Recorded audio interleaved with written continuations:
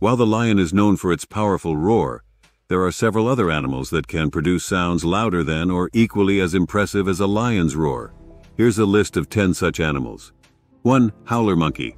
Howler monkeys are famous for their loud, resonant howls that can be heard over long distances in the rainforests of Central and South America. 2. The blue whale. The blue whale produces some of the loudest sounds in the animal kingdom, with its deep, low-frequency calls that can travel for miles underwater. 3.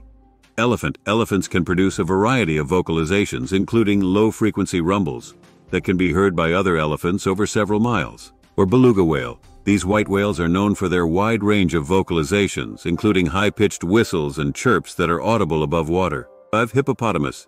Hippos are capable of producing a series of grunts and roars, especially during territorial disputes, which can be quite loud and carry over water. Tiger.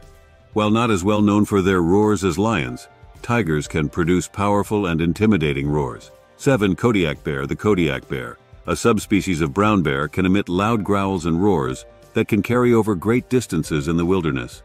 8. Hyena. Spotted hyenas are known for their whooping calls and eerie laughter, which can be quite loud and heard over long distances. 9. Gorilla.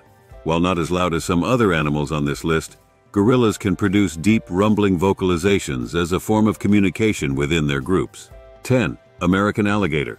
Alligators can produce low-frequency bellows, especially during mating season, which can carry over water and through wetland habitats. These animals have different ways of producing sound, and their loud calls serve various purposes, including communication, establishing territory, attracting mates, and warning of danger.